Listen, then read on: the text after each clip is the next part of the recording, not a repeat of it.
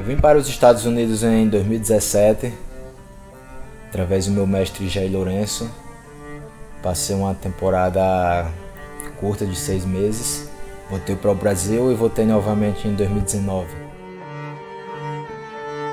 Eu tenho um sonho, sonho de ser campeão mundial.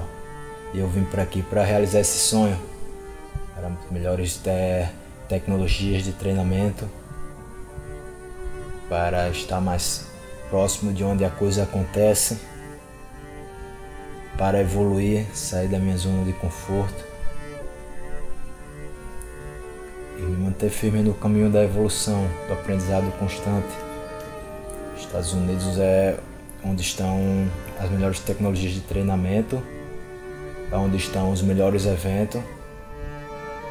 Então eu vim para aqui para realizar meu sonho. Eu sou um alquimista mental. Eu organizo meus pensamentos para criar minha realidade.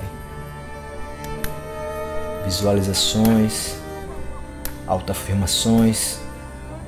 Eu vou moldando minhas crenças.